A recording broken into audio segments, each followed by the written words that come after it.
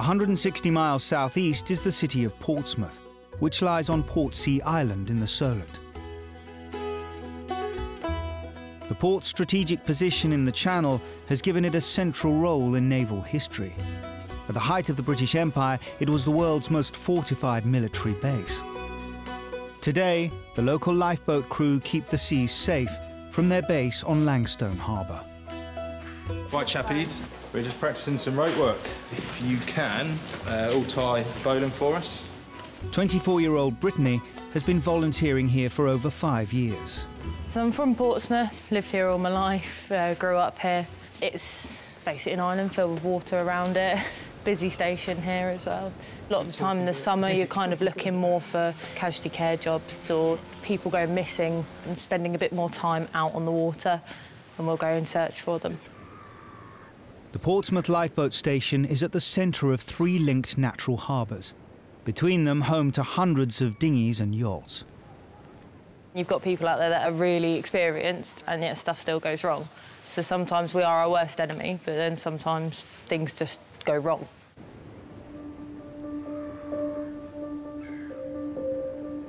A warm day in June. The inland waters appear calm, but beyond the harbour, a strong wind is creating choppy seas with large swells.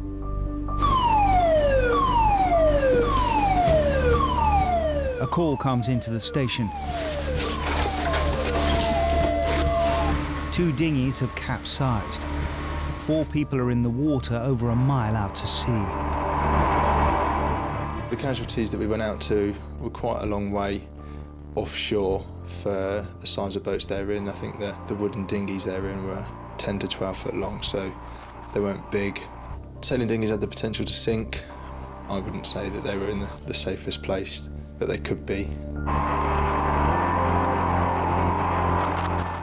When you capsize, it's a lot more serious and a lot more time critical that you need to get there because someone can drown in 90 seconds. It's really important that you get there quickly. It was quite choppy. The wind had picked up a little bit as well, so it was, you know, you're kind of thinking, how far have they drifted? Um, you know, have they managed to get any of their boats back up yet? You know, are they with their boats, or is it four singular people in the water just kind of bobbing around, and we've got to search for them and try and find each one?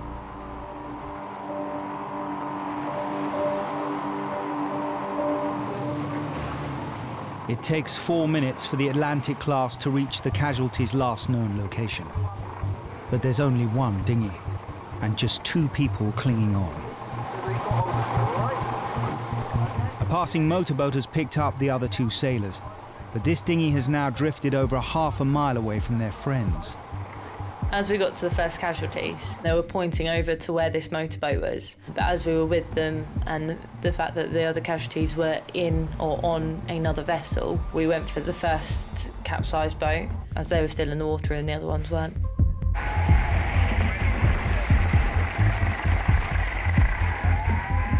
The challenge now is getting these two men out of the water.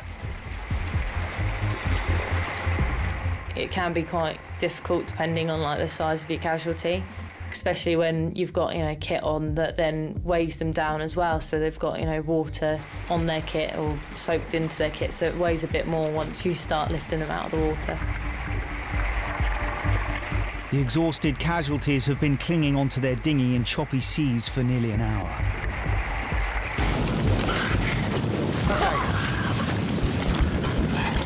There we go. Oh. Oh. I'll hold that, doing. When you're dealing with people in the water, you kind of just look at getting them in and assessing how they are, if they were cold at all, um, have they swallowed any water, have they inhaled any water, just to see if they're going to need treatment from us. With two casualties now safe, the crew must locate the other members of their group. But as the lifeboat approaches the motor cruiser, it becomes clear that one of these sailors is not completely out of danger yet. I saw that there was one gent sitting on the back of the swim deck, um, and the lady that was on the boat had handed him a towel. I thought at first it was just to kind of dry him off a little bit. Um, and as we got a bit closer, he said that he'd hurt his leg. Crew member needs to board the motor cruiser to properly assess the sailor's injury. But as they come alongside, they learn that this boat has problems of its own. The motorboat had actually got a, uh, a rope around its propeller, so it was just drifting in the swell and with the wind. They'd only just picked up that motorboat that day, so they were quite new to that boat themselves and uh, had attempted to rescue then got into a sticky situation themselves. Manoeuvring the 27 foot, 1.8 ton lifeboat alongside a drifting vessel in these seas is no mean feat. But Lewis must get Brittany on board.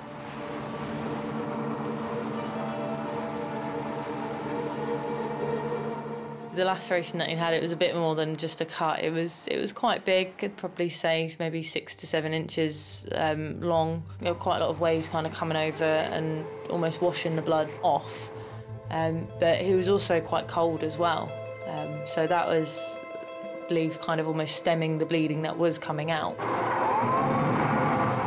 I asked for a first aid kit um, to be sent over along with another crew member. Kim joins Brittany on the motor cruiser.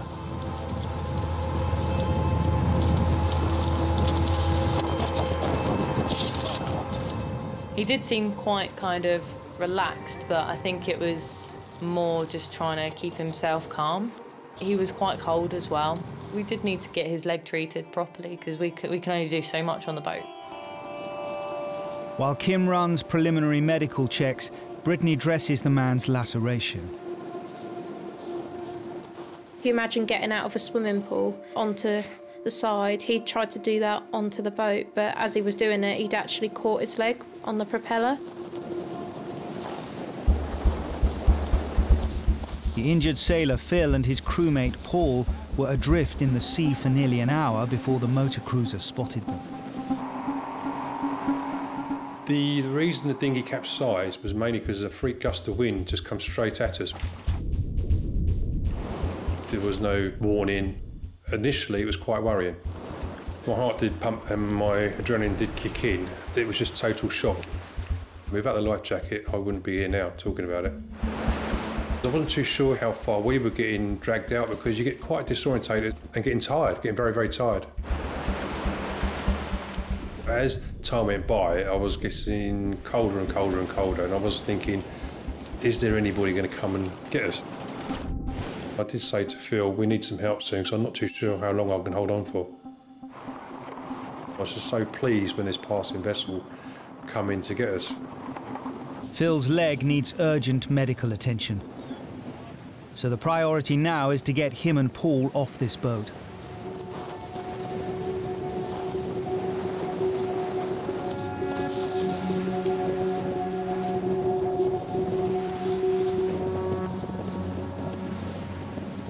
But while Paul can board with little assistance, the bigger challenge is transferring a wounded man off a broken down motor cruiser, which without engine power is now rolling in increasingly choppy seas.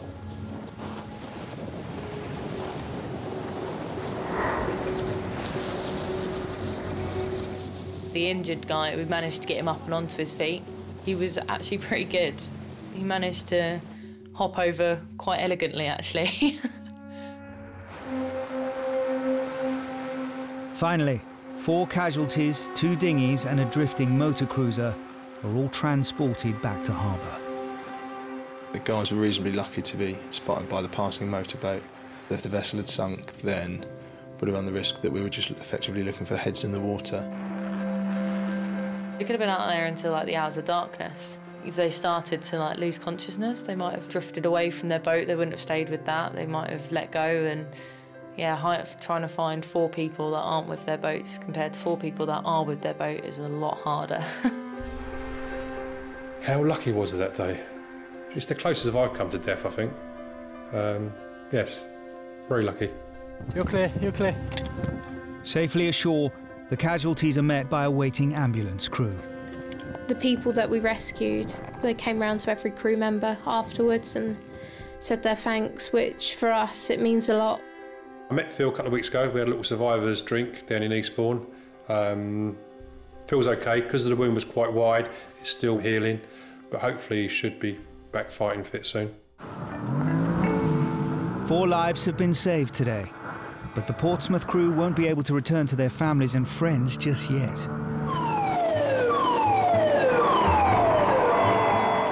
We've got another job to go to, so uh, hop back on. no rest on a Sunday then? Oh no, never is. By the time we got back from the second shout, it must have been about seven o'clock. Yeah, my barbecue was finished.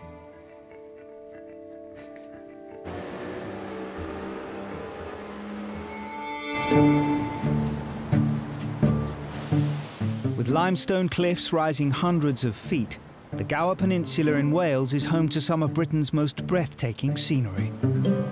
Its many beaches and bays are popular with surfers and kayakers. But with strong tides and currents, the waters here can be dangerous. The Gower Peninsula is quite an interesting piece of coast. So we have a mixture of uh, cliffs, which are followed around by the Welsh Coastal Path, and we also have little coves and sandy beaches, which offer a really good place for people to come and enjoy the coast, enjoy the sea, and uh, hopefully enjoy the sun when it comes out. 22-year-old Aidan has been a lifeguard here for three years. I've always loved being around water. I swam from when I was very young and grew up swimming and being in the sea and in the pool and stuff, and it just seemed like pretty cool to be able to work at the beach every day. The lifeguards here are supported by the Mumbles lifeboat crew, and the popularity of their patch means that this station is the busiest in Wales. Um, Mumbles, yeah, we have a lot of people involved in water sports. Like on the water today, there's people kayaking, fishing, paddleboarding, swimming. The sea looks so inviting, it's definitely tempting to get involved. But there's one small watercraft which is the bane of life-saving crews here and around the country. Yeah, when I hear inflatable, you definitely don't think of it as a, the most seaworthy craft. So if there's any chop, they're going to struggle in it. And even if it's windy, they're going to struggle to maintain their position against the wind. So if you're in something inflatable that sits on top of the water, um, you're most likely going to be blown away from the land, so you're going to struggle to get back to your safety. A warm spring day in the Gower.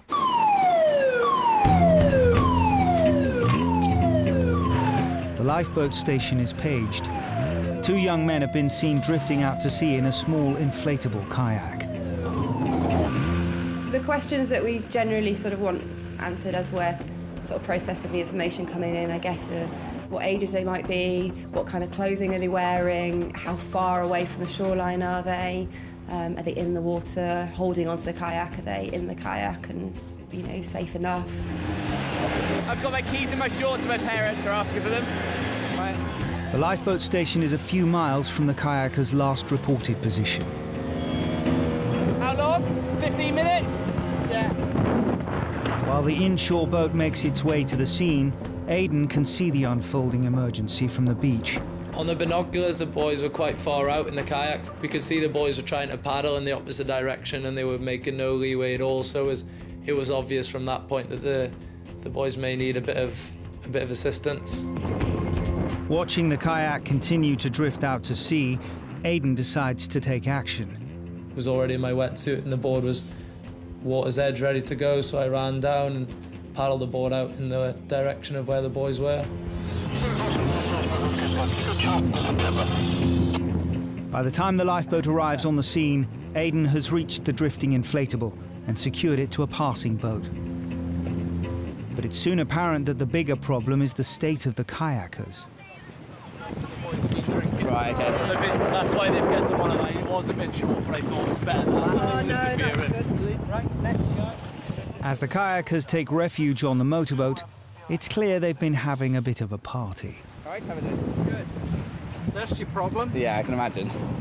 So when we approached the vessel that had um, taken the, the guys on, on a tow, it was you know pretty apparent that they'd had a lot of beer and there was still quite a lot of it in the boat as well. Yeah. There's no way this is going to get towed round to there. It's waterlogged. They're in a bit of a state. The casualties are transferred to the lifeboat.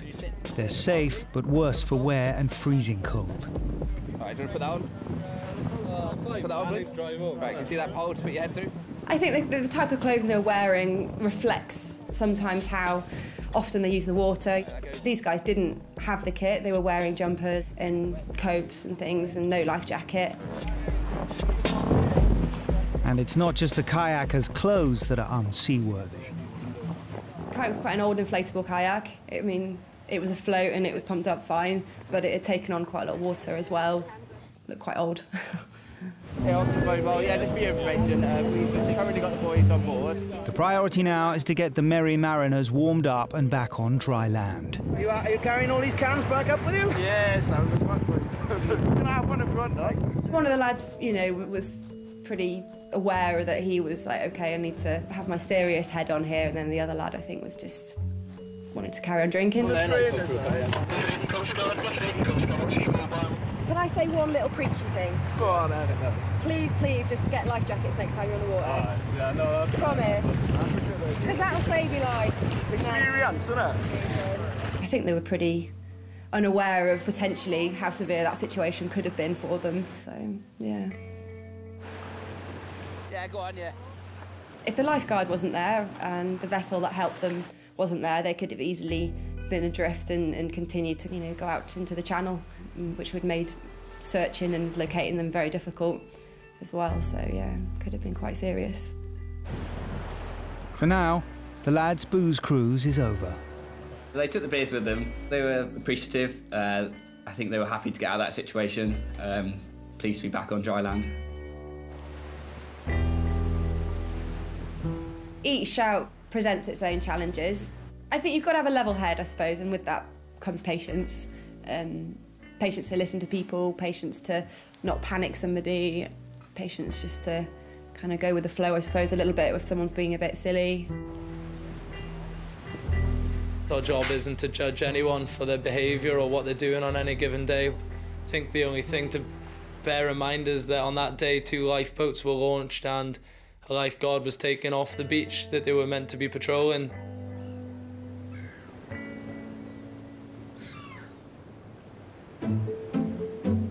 For volunteers and their families, one of the hardest things to adjust to is the fact that they have no idea where, why, or when they could be called into action. If there's a Sunday lunch, you sat down, your pager goes off, you go. You know, if you're bathing your kids, your pager goes off, you go. If you're reading a story to the kids, pager goes off, you go. One of my first shouts was my boy's first birthday. The party started at two o'clock and the pager went off at five to two. So I missed his first birthday. Christmas Day was the worst. Just about to sit down for Christmas lunch and the pager went off. To be fair, they did keep the dinner on hold, but it was a bit dry when we got back.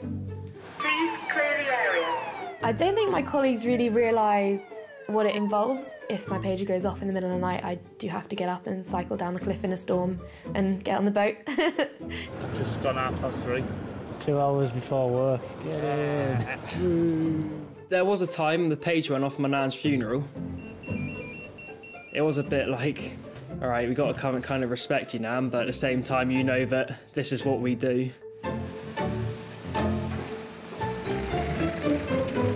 I make sure now that when we go out, I've got spare house keys, mobile phone, and money for a taxi because I, we can be anywhere and he's gone.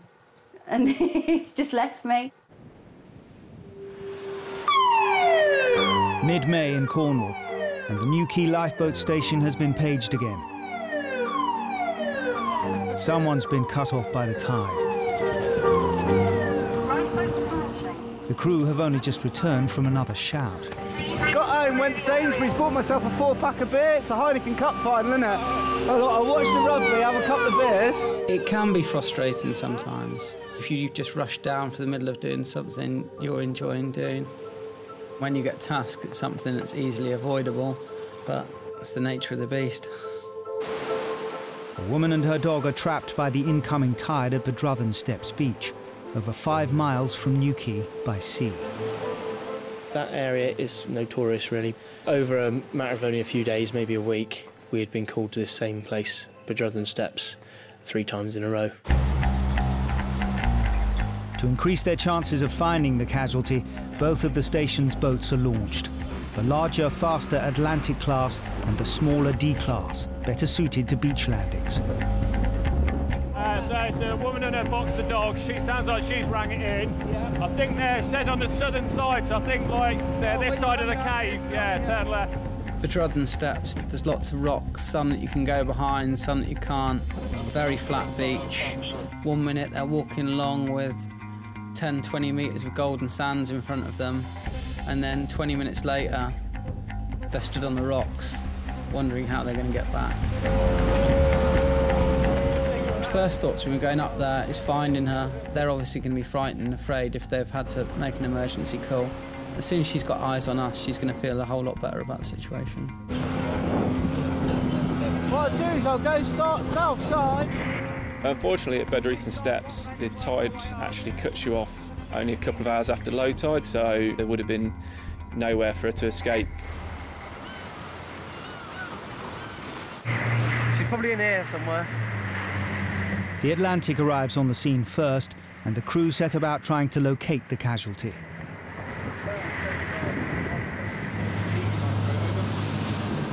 Something, something blue there. Oh, what's that there? Is that a person with a blue jacket? Yeah. Yeah. Oh, yeah, and the brown dog. Right. When you spot the person and you can see that they're on sort of dry land and at that time look to be unharmed, it's a relief straight away because um, you know that then you've got time um, to be able to sit back and assess the situation. The two crews decide to send the smaller D class in through the surf to the beach to pick up the casualty and her dog. Engine's on tilt, it's going straight for clean beach. Straight in, we'll get in, beach it. If you go up, Rapper and that and me and Ross. With a flood tide, the sooner we've got them in and the more beach we have to aim for, the easier it is for us as crew. If we get in and it's tight up against the cliffs, um, trying to hold the boat in place can be very difficult. Yeah, you're all good behind.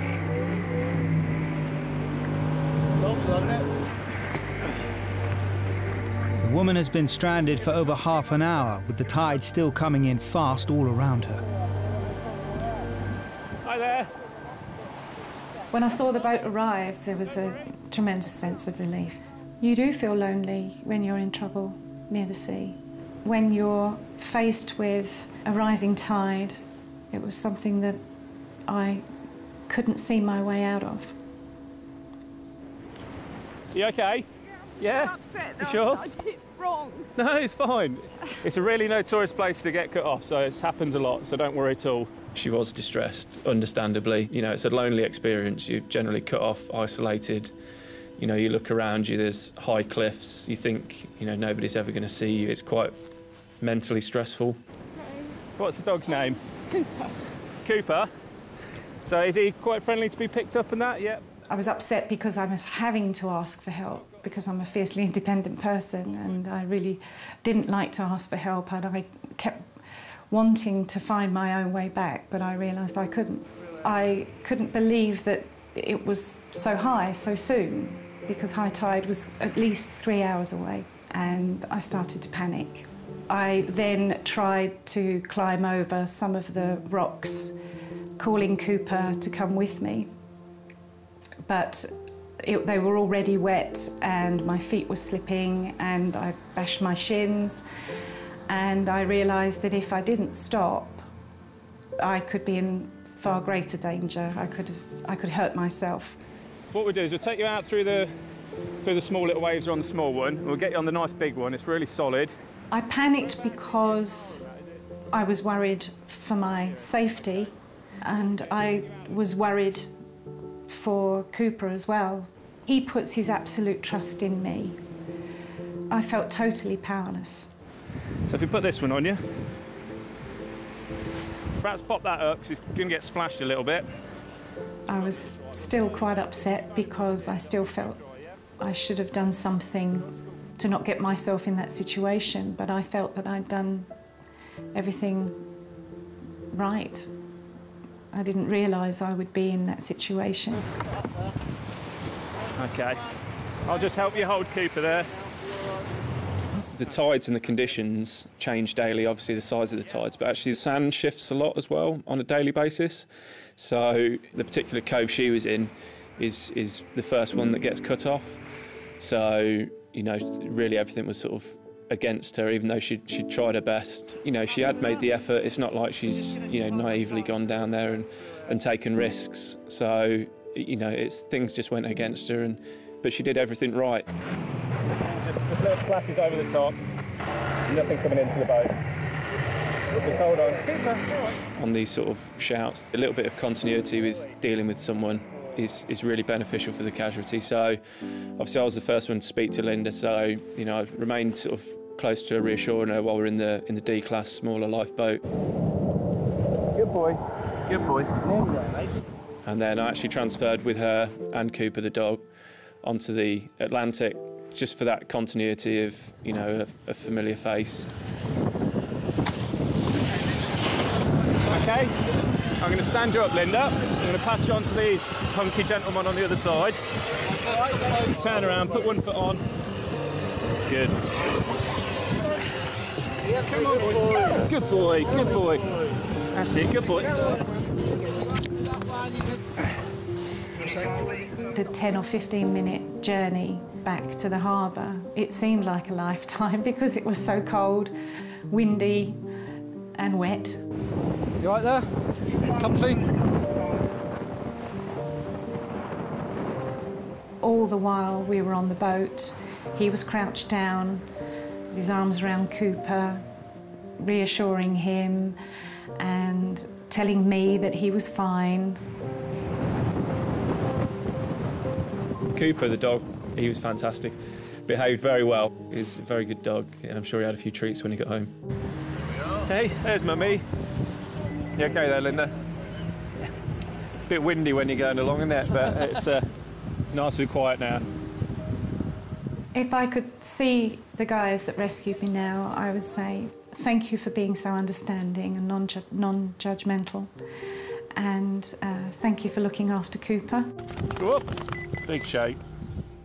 I would say there's absolutely no reason for you to be embarrassed. Mistakes happen and accidents happen. There's, it's not a big issue for us. Um, it's what we're here for. No problem. Take it easy. Keep enjoying the beach. Keep walking your dog on the beach. You learn the hard way, but don't be embarrassed about it. It's, uh, it's one of those things.